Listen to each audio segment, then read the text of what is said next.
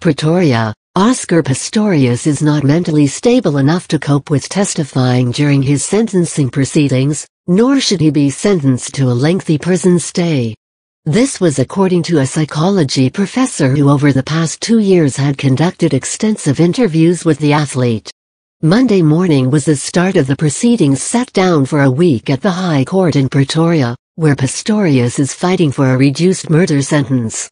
In December, Pistorius was convicted of murder for the 2013 killing of his model girlfriend, Reeva Steenkamp, after the Supreme Court of Appeal SCA overturned his previous conviction of culpable homicide. The SCA believed Pretoria High Court Judge, Thokozile Masipa, had erred in ruling Pistorius had no intention to kill when he fired four bullets on a closed bathroom door at his Pretoria estate. The SCA found that by firing on the door, regardless of whether an intruder was behind it or not, Pistorius should have known that the person inside the bathroom could have been killed. He was therefore found guilty of murder dolus eventualis, or murder with indirect intent. Pistorius this year launched an application at the Constitutional Court to overturn the SCA ruling, but the Apex Court chose not to hear it.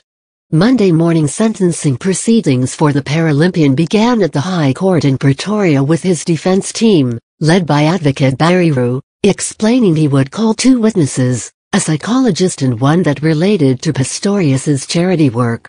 The first witness called was Professor Jonathan Scholtz, a psychologist at Weskoppies Psychiatric Hospital, and an adjunct professor at University of Pretoria. It was established he was one of the assessors who initially assessed Pistorius during his psychiatric observation during the trial in May 2014. In a report submitted to the court, Scholtz said during his assessment, he interviewed Pistorius for 19 hours, and also interviewed numerous others who knew the athlete. He claimed his objectivity had not been compromised, and that he based his current testimony on his initial assessment and subsequent interviews this year, as well as other reports and documentation linked to the case. Scholtz said he had also analyzed factors that could lead to a person committing a crime, as well as Pistorius's current mental state. He labeled Pistorius, during his recent interviews, as anxious and depressed, with limited energy, a lack of concentration, and symptoms of post-traumatic stress disorder. Currently, in my opinion, I don't think he is not able to testify during these proceedings, said Scholtz. The professor also explained that Pistorius's parents had contributed to his current predicament. His mother had also suffered from anxiety, and that the family's experience of crime had made her more anxious. This had affected Pistorius's own mental health from a young age and he felt abandoned when his mother passed away, and because of a poor relationship with his father.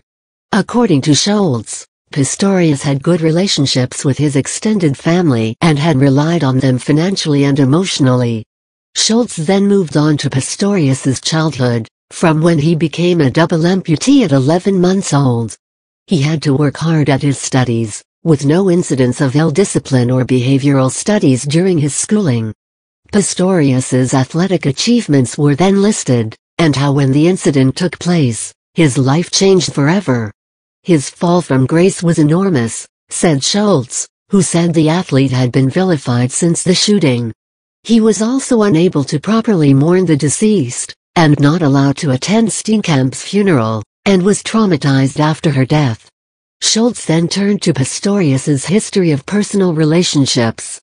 He said that Pistorius felt many women wanted to be with him because of his fame, and it was difficult for him to form solid relationships. His relationship with Steenkamp was healthy, and non-abusive, according to Scholtz. He said Pistorius's enthusiasm for guns had dissipated since the murder, and he had sold all of his firearms. Scholtz said Pistorius's anxiety would be triggered when hearing gunshots, even on television, for example. An in-depth mental health assessment showed that while he showed minimal signs of psychopathy or psychosis, he had become depressed, agoraphobic and paranoid, particularly about perceptions of himself in public and the media. His general anxiety disorder had also worsened in the past two years. Scholtz said that he did not get a chance to interview the Steenkamp family or determine the current impact of their daughter's death. He said the court needed to take into account the fact that Pistorius was a first-time offender, young, intelligent and willing to give of himself doing charity work. Pistorius had already spent a year in prison, and was not psychopathic or antisocial, nor likely to reoffend, the professor said. He said that the athlete had a firm job offer from a company that works on early childhood development programs. Pistorius's health issues did need to be addressed, however. His current condition warrants hospitalization, said Scholtz. He is disinvested and leaves his future in the hands of God, he added.